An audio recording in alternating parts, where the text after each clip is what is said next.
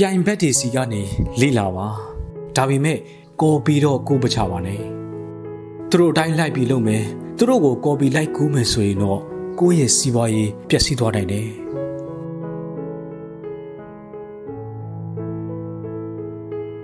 လောကမှာလူတွေဟာငွေမရှိတာမဟုတ်ပါဘူးငွေရှာဖို့နီးလန်းတွေကိုမသိတာပါဒီတော့ငွေရှိချင်ရင်ငွေရှာနိုင်မဲ့ငွေရနိုင်မဲ့နီးလန်းတွေကို ရှာဖွေပါ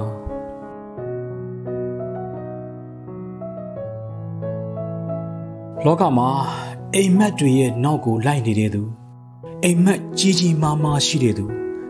ကိုယ့်ရဲ့အိမ်မက်တွေအတွက်အသေးခံရဲတဲ့သူတွေဟာတိတ်ကိုရှားပါတယ်အဲ့လိုလူမျိုးတွေပဲဘဝမှာအကြီးအကျယ်အောင်မြင်ကြတယ်ဒီတော့အိမ်မက်ရှိပါကြီးမားတဲ့အိမ်မက်တွေစိတ်ထဲမှာထားပါအိမ်မက်တွေရဲ့နောက်ကိုလိုက်ပါ ကိုယ့်ရဲ့အိမ်မက်တွေအတွက်အသေးခံဝန်းပါ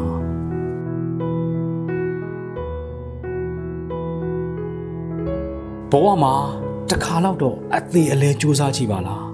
အသေးအလဲပြောင်းလဲကြည့်ပါလားဆိုးတာတွေတော့ဖြစ်မလာတော့ပါဘူးကောင်းတာတွေပဲဖြစ်လာပါလိမ့်မယ်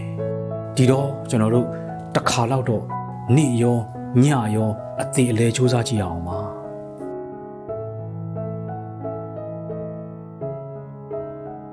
ခြုံထဲမှာယုံကိုးကောင်ရှိရင်ကိုကကိုးကောင်စလုံးကိုတော့ဖမ်းနိုင်မှာမဟုတ်ဘူးတကောင်ကိုပဲဖမ်းနိုင်လိမ့်မယ်ဒီတော့အဲ့ဒီတကောင်ကိုပဲအာယုံဆိုင်ပါအဲ့ဒီတကောင်ကိုပဲရအောင်ဖမ်းပါအဲ့လိုပဲကိုယ့်ရဲ့ဘဝမှာလည်းရည်ရွယ်ချက်တွေရည်မှန်းချက်တွေအများကြီးရှိနေမယ်ဒါပေမဲ့တစ်ချိန်မှာတစ်ခါသာလျှင်အဲ့ဒီရည်ရွယ်ချက်အပေါ်မှာအာယုံဆိုင်ပါအဲ့ဒါကိုရအောင်အသေးလေးကြိုးစားပါ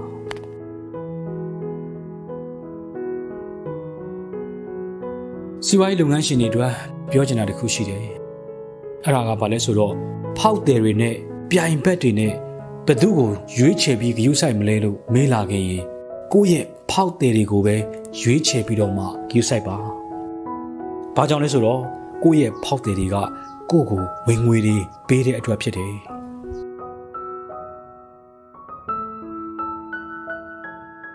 အရှုံးမပေးပါနဲ့အရှုံးမပေးမချင်းတော့ အခွင့်အလန်းတွေရှိနေဦးမှာပဲအရှုံးပေးလိုက်ပြီဆိုတာနဲ့ဘာအခွင့်အလမ်းမှမရှိတော့ဘူးဆိုတာသတိရပါ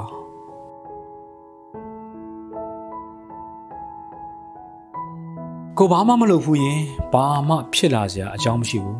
ဘာမှဖြစ်မလာတော့မှစိတ်ဆင်းရဲမနေနဲ့ဒီတော့တခုခုဖြစ်လာခြင်းရင်တခုခုလုပ်ကြည့်ပါဦးတခုခုစူးစမ်းကြည့်စမ်းပါ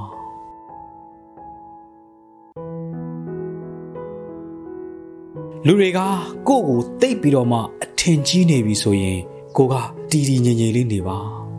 ကိုယ့်ရဲ့ပုံစံအတိုင်းပဲကို အကောင်းဆုံးနေထိုင်ဖို့တောင်းရှိသွားပြီနော်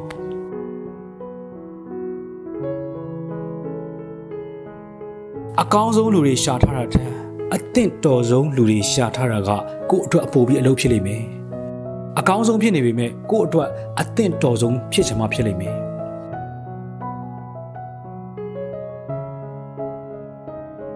လူတိုင်းမမြင်နိုင်တဲ့အခွင့်အလန်းကမှစစ်မှန်တဲ့အခွင့်အလန်းပဲဒီတော့လူတိုင်းမမြင်နိုင်တဲ့အခွင့်အလန်းတွေကိုရှာပါ